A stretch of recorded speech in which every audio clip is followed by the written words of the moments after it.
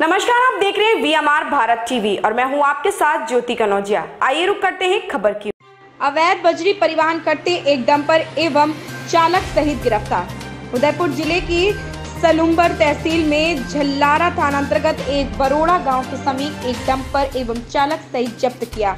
Police अधीक्षक राजीव पचार के निर्देश अनुसार अवैध खनन के विरुद्ध प्रभावी कार्रवाई करने के निर्देश प्रदान किए गए।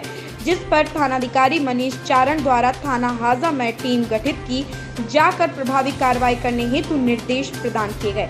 उक्त निर्देश की पालना में गठित टीम को कार्रवाई हेतु थाने से रवाना किया। दौरान ग्रस्त सूचना मिली कि लसूबर की सलुम्बर की तरफ़ से एक अवैध बजरी से भरा डंपर बरोड़ा की तरफ़ आने वाला है, जिस पर एएसआई सलीम खां मैस जाप्ता कांस्टेबल प्रवीण सिंह गणेशा राम कैलाश जीप चालक हीरालाल बामड़िया तिराहे के पास पहुँच नाकाबंदी शुरू की गई। नाकाबंदी के दौरान एक डंपर में बजरी रेती से भरा दस चक्कर, दस चक्का डंपर आता हुआ नज़र आया, जिसमें बामड़िया तिराहे पर तिराहे पर रोकने का इशारा किया, जिसे रुकवा कर चालक ने डंपर से भरी बजरी के व कागजात के बारे में पूछा तो कोई वैध कागज़ नहीं होना बताया। वह उक्त डंपर अवैध बजरी, बरेला कर का नदी थाना गिंगला से भर कर लाया हुआ है, जिस पर डंपर अवैध बजरी से भरी हुई होने के कारण जब्त किया व चालक रामलाल पिता हेमा जी मीणा उम्र 35 साल निवासी